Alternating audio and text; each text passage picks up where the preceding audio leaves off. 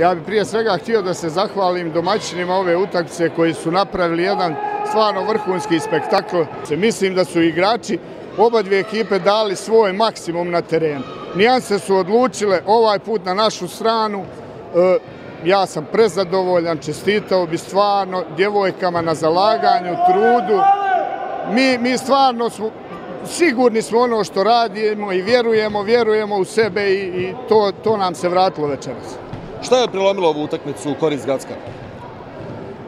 Pa znate kako, mislim, mislim da je strpljenje ipak na kraju odlučilo. Bolja koncentracija u završnici četvrtog seta i, i mislim da je to prelomilo ovaj.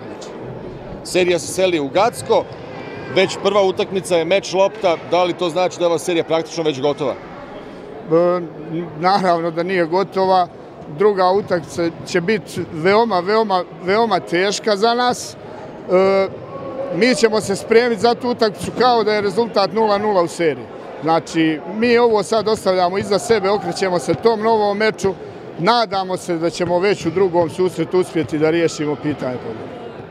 Ušli smo u utakmicu veoma skoncentrisano. Cilj nam je bio da odigramo na našem nivou, međutim, e, znali smo da neće biti lako. Okrenuli ste e, vođstvo BL Voleja od 2-1 u svoju korist uvjerljivim triumfom u trećem, u četvrtom i u petom setu. Šta je to što je prelomilo ovu utakmicu?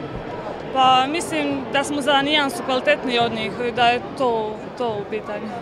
Serija se seli u Gacko, već prva utakmica mogla bi da bude i kraj ove serije. Šta ti očekuješ? Pa nadamo se da ćemo lakše da riješimo utakmicu u Gacku.